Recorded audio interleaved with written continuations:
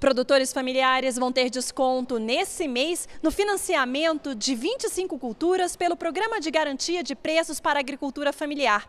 Entre os beneficiados estão produtores, por exemplo, de açaí, arroz em casca, batata e castanha de caju. Os descontos valem entre os dias 10 de setembro e 9 de outubro. Os preços e os bônus têm como referência o mês de agosto. Este bônus do programa é calculado mensalmente pela Conab, Companhia Nacional de Abastecimento, que faz o levantamento em áreas de comercialização dos produtos da agricultura familiar. De Brasília, Daniela Almeida.